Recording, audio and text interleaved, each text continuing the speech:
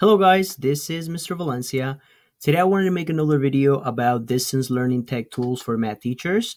Uh, basically, I wanted to show you uh, tools that I have been using that I found effective during uh, remote learning. So today I want to talk about student support using Graspable Math.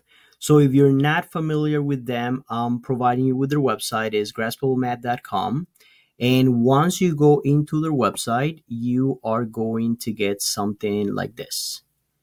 All right, so once you are on their website, I want you to click on Explore Algebra. That's what we're going to do. And this is free to use. So you're going to click on Explore Algebra. And once you do, it's going to take you to the canvas for Graspable Math. Now, once you're there, on the upper left, there is an option for insert and we're going to click in math expression. So I'm actually going to show you what it looks like. Okay, so once you are on the Graspable Math canvas, you're going to go to insert math expression. So let's say that your students are uh, solving linear equations. So let's say they're doing something like 5x minus 2 is equal to 2x plus 5. So let's say that they were solving this equation. So when you solve the equation, you want to isolate the variables. You want to have the, have the x's on one side and the numbers on the other side. So um, a student might try to, let's say, move the negative 2. Let's say I want to take the negative 2 and bring it to the right side. So notice once I bring it to the right side, it became positive. Let's say now that I want all the x's on the left side. So I'm going to take the 2x and bring it to the left. So now I have 5x minus 2x and I have 5 plus 2. If I click on the plus, it's going to combine like terms. If I click on the minus here, is going to combine like terms. Now, the only thing that I have left to do is divide by 3. So I'm actually going to grab the 3 and bring it to the right side. Notice once I bring it to the right side, I get a fraction line, and that is it. I get that x is equal to 7 over 3. Now, this is one of the things that I like that the students can actually expand all the steps and see their work. So I like that it allows students to play in a safe environment uh, and it allows them to see all their work.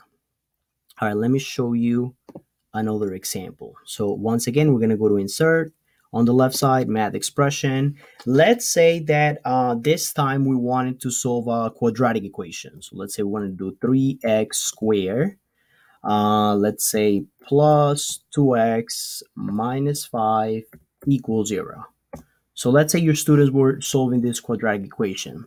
I want to show you that on the upper right, there is an, an option for formula. So if you click in there, you get um, the quadratic formula and you get a lot of options for factorization. So I'm going to solve this equation using the quadratic formula just to show you what it looks like. So once I click on quadratic formula, notice how I get a rectangle on my equation. So I'm going to click it here. And what's going to happen is, is going to apply the quadratic formula to my equation.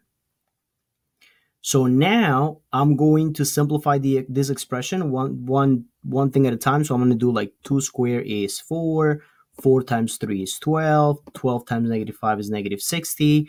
Double negative becomes positive. I could do 2 times 3 is 6. Uh, 4 plus 60 is 64. And then the square root of 64 is 8. So notice how uh, the students can actually expand this and see every step along the way we can expand this every step along the way.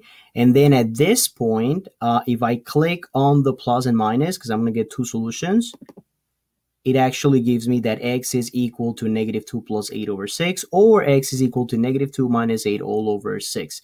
And I can continue to simplify this. And I can do the same thing over here. And then you can expand this. So the students see all every single step.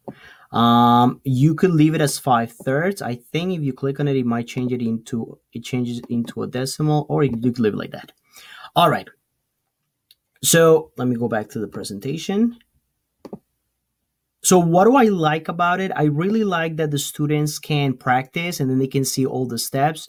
Uh, the students are usually very comfortable using technology and it's like a safe way to practice because it doesn't allow them to like make a mistake. Um, I also like that they had uh, some formulas in here on the right side, um, like the quadratic formula. Um, and it also has some op- options for factorization so I think this could be very powerful and very useful for any student um, taking an algebra class because they could practice equations, inequalities, factorization, um, which can re- be really helpful. So I think that is that is it for now. I hope that this video was helpful and thank you very much for watching.